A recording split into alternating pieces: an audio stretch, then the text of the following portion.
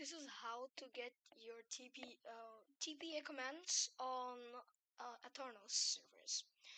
So yeah, let's get it. Make a server, options, and if you're playing on TLauncher, just please turn on cracked. I am not turning on. I don't. I don't use TLauncher, but uh, yeah, this is just for your example.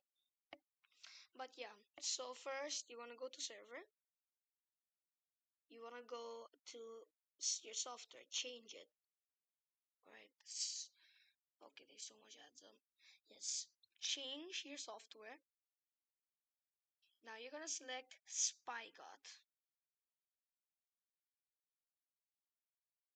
And uh, select yourself, let's say a rand like the version you want. My version will be 1.20.6. This is the latest version.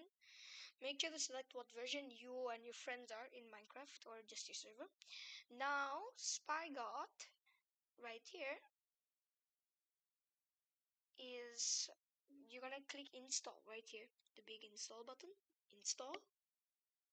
Wait for that to install. Boom. Now you have plugins plugins. Will go there. And you will sim you will search up simple TPA this simple TPA then select this one. The third the last one.